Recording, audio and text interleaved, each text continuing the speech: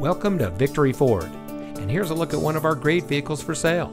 It comes equipped with speed sensing steering, outside temperature display, electronic stability control, tire pressure monitoring system, air conditioning, traction control, side airbags, anti-lock braking, pull down split rear seat, overhead airbag, and much more.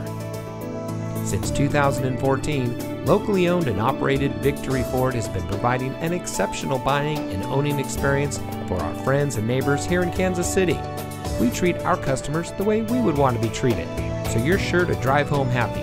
Come visit Victory Ford today, where our first price is better than their last.